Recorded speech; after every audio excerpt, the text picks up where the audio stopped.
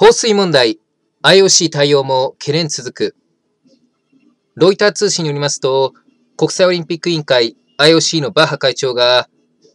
中国共産党の幹部に性的暴行を受けたと訴えたテニス選手の彭帥さんとテレビ電話を行った問題について、女子テニス協会の広報担当が次のような発言をしたことが明らかになりました。当初、私たちが懸念を持つに至った問題である、彼女の性的暴行の訴えに対する完全で公正かつ透明性のある調査を圧力のない形で求めることに変わりはない。彭帥さんの姿を見られたことは良かった。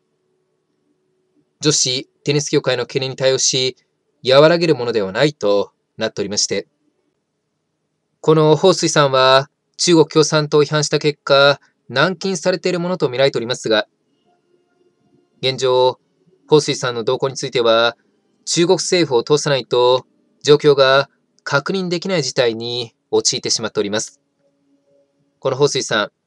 問題がなければ、外国のメディアも入れる形で記者会見を開けばいいんじゃないかと思われますが、今のところ、そのような動きは出ておりません。この問題が解決されない場合、北京冬季オリンピックの開催が見直される可能性も出てきておりますので、今後もスポーツの関係者の皆様には、しっかりと真相究明を行っていただき、この問題をうやむやにしたまま、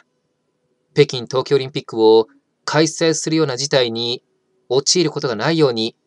対応を進めていただくよう、お願いいたします。以上になります。ご清聴いただき、ありがとうございました。